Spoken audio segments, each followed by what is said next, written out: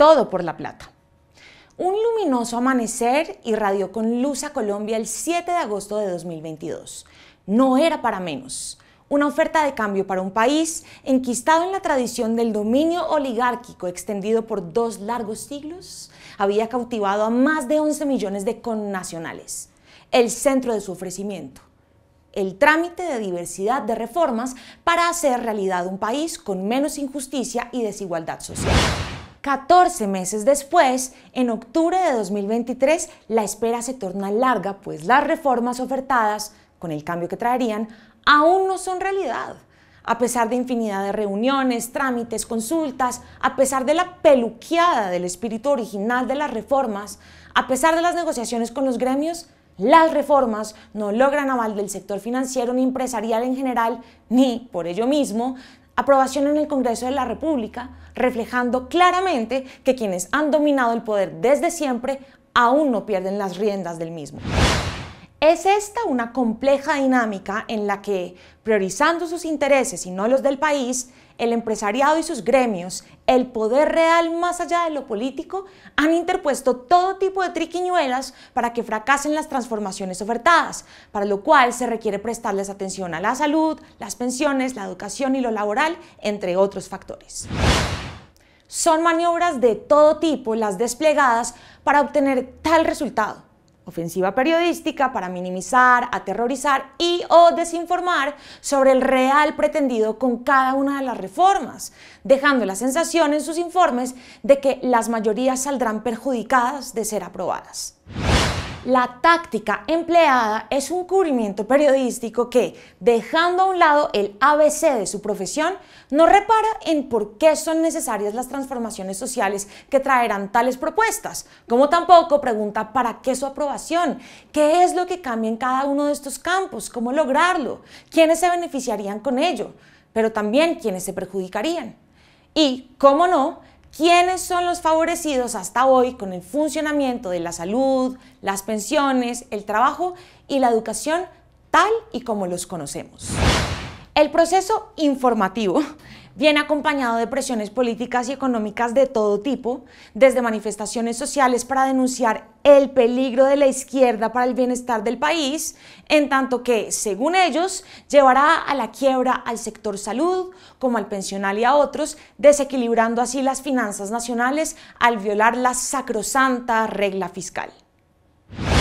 Simultáneamente, desde el exterior, las agencias calificadoras de riesgo desmejoran su nota sobre el grado de estabilidad de la economía nacional. A la par, se registra la fuga de capitales, la especulación con el dólar, la salida del país de diversidad de empresas por no sentir seguridad jurídica o por proyectar que los rendimientos en sus ganancias no serán los calculados años atrás. No faltan la infinidad de visitas de funcionarios del gobierno gringo para presionar por aquellos a quienes realmente representan las multinacionales con inversiones en diversidad de segmentos de la economía nacional. La iniciativa privada en contra de la aprobación de las reformas ha permitido comprender que no les interesa una democracia fuerte, integral, radical y con ello más justicia, aunque sí sus tasas de ganancia. La preocupación es evidente. En salud, el núcleo de su oposición es a que se termine con las EPS, es decir, con el manejo por parte del sector privado de la billonada de dinero de la que se han lucrado hasta ahora por su intermediación, para este año la bobadita de 81 billones de pesos. Por ello, se oponen al surgimiento de un nuevo administrador de esos fondos, la ADRES, administradora de los recursos del Sistema General de Seguridad en Salud, mientras la mayoría de los otros asuntos los tiene sin cuidado atención primaria, cubrimiento en salud de la población rural, estabilidad de los trabajadores del sector, etc. En ello, posan de avanzados, sensatos, pero porque en la mayoría de esos aspectos los gastos correrán por cuenta del sector público.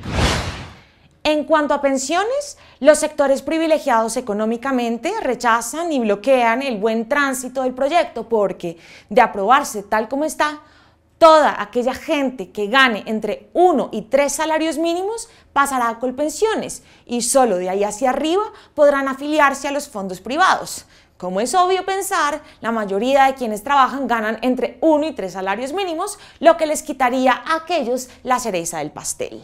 Esos fondos reciben y administran hoy los aportes de 18,8 millones de cotizantes, los que pudieran bajar a menos de 5 millones, reduciendo un negocio hasta ahora redondo para beneficio de unos pocos. En educación les preocupa que el objetivo de asegurarla pública, gratuita y generalizada les reduzca el número de estudiantes con que hoy cuentan y que por tanto decaigan sus ingresos. No es nada más, negocio, puro negocio. Y para esconder tan vil interés, vuelven con el viejo decir de que la educación privada es de excelencia y supera a la pública y que por tanto hay que protegerla. Para la muestra, dos botones, Ser Pilo Paga y Generación E programas por medio de los cuales el gobierno le transfiere recursos a las universidades privadas contribuyendo a su subsistencia y rentabilidad para posibilitar que nuevas generaciones de escasos recursos tengan acceso a la educación superior, en un modelo de privatización indirecta de la educación en el que es el gobierno quien asume el costo. Es así como miles de estudiantes quedan con cargo financiero al gobierno central. Este modelo debería y podría desaparecer si se garantiza la educación pública gratuita para el total del estudiantado. En lo laboral, según las observaciones de quienes la objetan, la reforma no generará más empleo y sí le incrementará los costos al empresariado aunque no lo dicen, serían felices de aprobar una reforma que reduzca los derechos de quienes venden su fuerza de trabajo, como acaba de suceder en Grecia, país donde las jornadas de trabajo son ahora más amplias, con menos salarios y menos garantías de todo tipo. Observaciones, oposición, bloqueos, chantajes que ocultan discusiones que emanan de todo esto. Por ejemplo, ¿Cuál es el modelo económico que debe abordar el país en su momento actual si se busca alcanzar un mejor bienestar para todos y todas? ¿Qué papel debiera jugar en ello el Estado? ¿Qué tipo de Estado deberíamos constituir? Más allá del rol de los gremios económicos, ¿cuál es el papel que deberían liderar los sectores organizados de la llamada sociedad civil, como por ejemplo los movimientos sociales? ¿Cuál es el papel de la mayoría social nunca invitada ni motivada para que intervenga en la reflexión, el diseño, la ejecución y el control de la economía del país que habita? Es cierto que todo lo que toca al Estado es garantía de quiebra, pero también responde a la verdad la afirmación de que el sector privado es per se garantía de éxito y probidad a toda prueba.